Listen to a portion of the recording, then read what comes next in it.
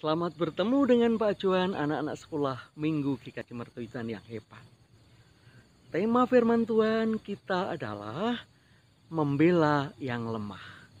Membela yang lemah artinya menolong yang butuh untuk ditolong.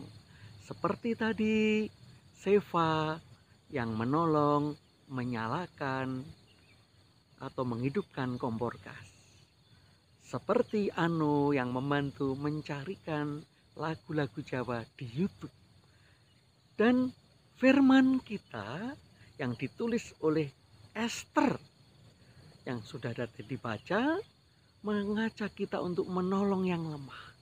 Esther itu orang Israel yang cantik lalu karena cantik orangnya dan cantik hatinya dijadikan istri atau permaisuri. Permaisuri oleh Raja Ashasiveros di kerajaan Persia.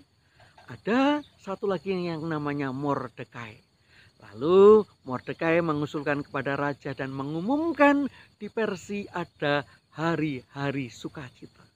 Maka ayatnya mengatakan dan supaya menjadikan hari-hari itu hari perjamuan dan sukacita dan hari untuk antar mengantar makanan dan untuk bersedekah kepada orang-orang miskin. Nah, luar biasa. Firman ini mengajak kita, kita hafalkan ya, supaya kita menolong orang yang lemah, orang yang perlu dibantu.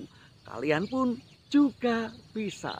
Tuhan Yesus memberkati. Salam.